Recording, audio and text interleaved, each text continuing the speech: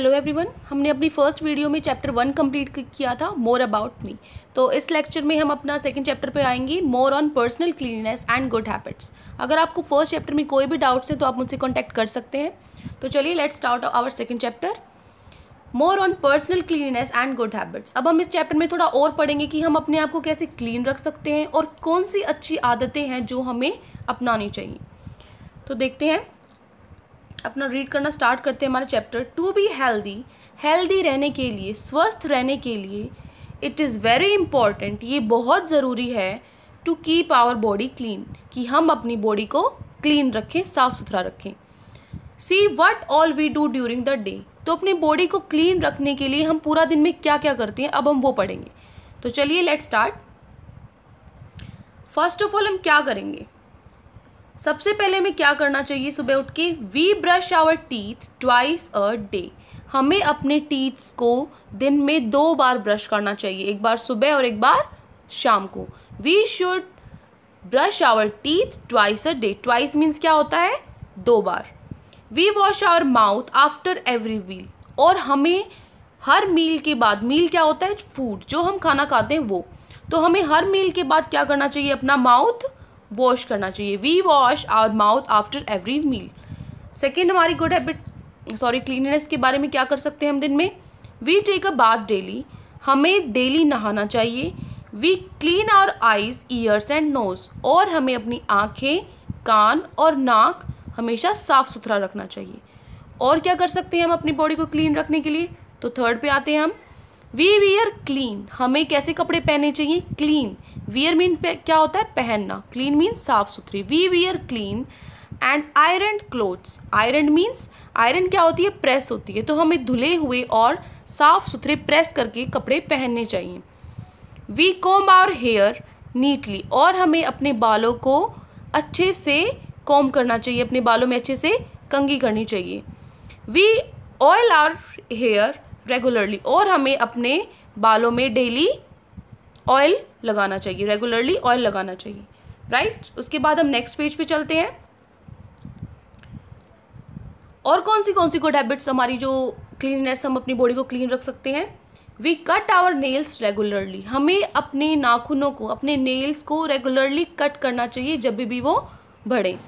If we do not take care of our personal cleanness अगर हम अपना personally ध्यान नहीं रखेंगे अपनी साफ़ सफ़ाई के लिए we will be unhealthy and sick तो हम क्या हो जाएँगे? अनहेल्दी अस्वस्थ हो जाएँगे एंड सिक और बीमार पड़ जाएँगे।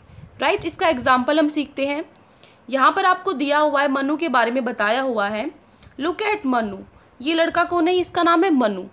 ही इज़ सिक ये बीमार है एंड अनहेल्दी और अस्वस्थ है। मतलब ये स्वस्थ नहीं है, ये हेल्दी नहीं है। तो ये क्यों हेल्दी नहीं है? वो हम देखते हैं। Manu does not brush his teeth जो मनु है, वो अपने टीथ को ब्रश नहीं करता है। वो डेली ब्रश नहीं करता है।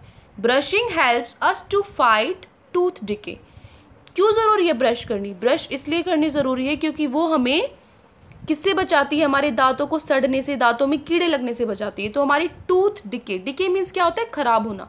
और टूथ क्या होते हैं? जो हमारे दांत होते हैं। तो हमारे दांतों को ख़राब होने से बचाते हैं। इसलिए हमें क्या करना चाहिए? डेली ब्रश करना चाहिए। सेकेंड उसने क्या किया? Manu does not take a bath every day जो मनु है वो डेली नहाता नहीं है। वो बात नहीं लेता daily if we do not take a bath अगर हम डेली नहीं नहाएँगे वी स्मेल तो हमारे अंदर से क्या आएगी? स्मेल आएगी, बदबू आएगी। आपको पता है कि गर्मी में कितनी सारी स्वेटिंग होती है और स्वेटिंग से फिर पसीनों से क्या होता है? हमारी बॉडी में बदबू हो जाती है। इसीलिए हमें डेली नहाना बहुत ज़रूरी है। थर्ड थिंग जो मनु ने गलत की, वो क्या थी? Manu does not comb his hair Manu अपने बालों में डेली क्या नहीं करता था? कॉम्ब नहीं करता था। वो अपने बालों में कंगी नहीं करता था। जिसकी वजह से क्या हुआ? If we do not comb our hair अगर हम अपने बालों में डेली कंगी नहीं करेंगे इट इचेज तो वो क्या होगा? खुजली मचेगी। इच इचिंग मीन्स क्या होता है? खुजली मचना। तो हमारे बालों में क्या होगी? हमारे सर में क्या होगा? इचिंग होगी। हमारे सर में खुजली मचेगी। ठीक है? और मनु ने क्या गड़बड़ की? Manu does not cut his nails Manu ने अपने नेल्स को कट नहीं किया.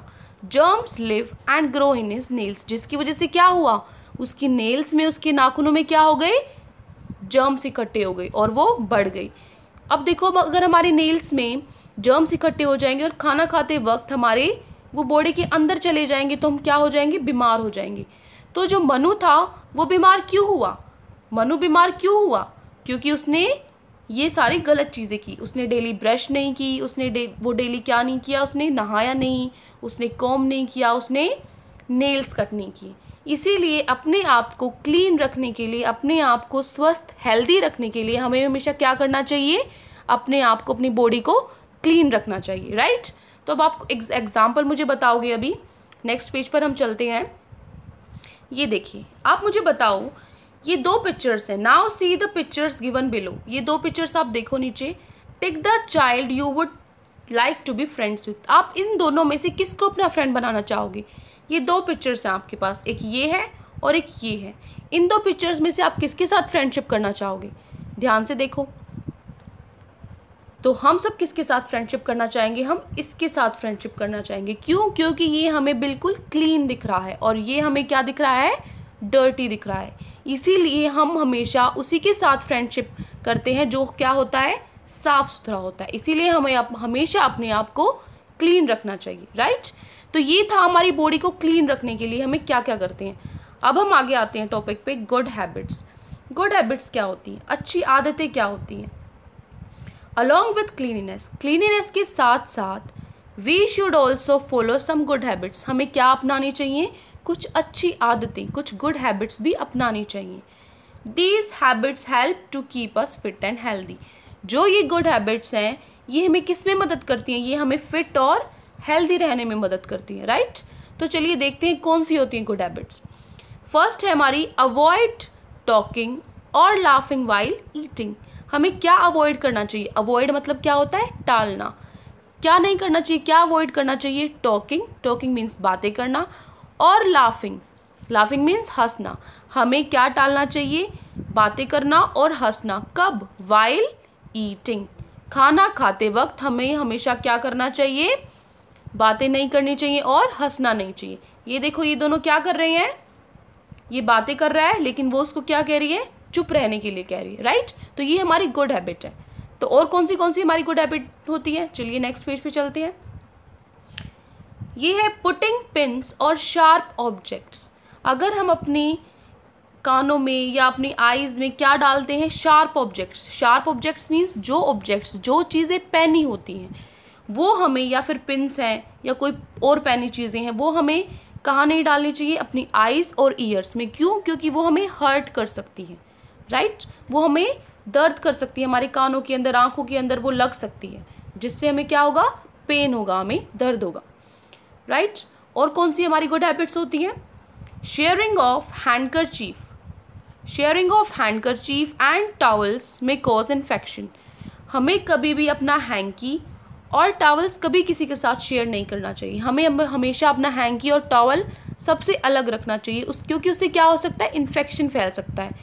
क्योंकि आप एग्ज़ाम्पल लो, अगर मुझे कोल्ड है, मुझे ज़ुकाम है और मैं अपना हैंकी किसी और को दे देती हूँ यूज़ करने के लिए। तो जो हैंकी मैंने अपने कोल्ड में यूज़ किया था, अब वो मैं किसी और को दे रही हूँ तो उसको भी कोल्ड हो जाएगा, है ना? इसीलिए वो क्या हो जाएगा इन्फेक्शन फैल जाएगा। तो हमें अपना हैंकी और अपना टावल कभी किसी से शेयर नहीं करना चाहिए। ये भी एक क्या होती है? गुड हैबिट होती है। राइट और कौन सी गुड हैबिट होती है? देखो use a hanky while coughing और स्नीजिंग हमें हमेशा हैंकी यूज़ करना चाहिए कब?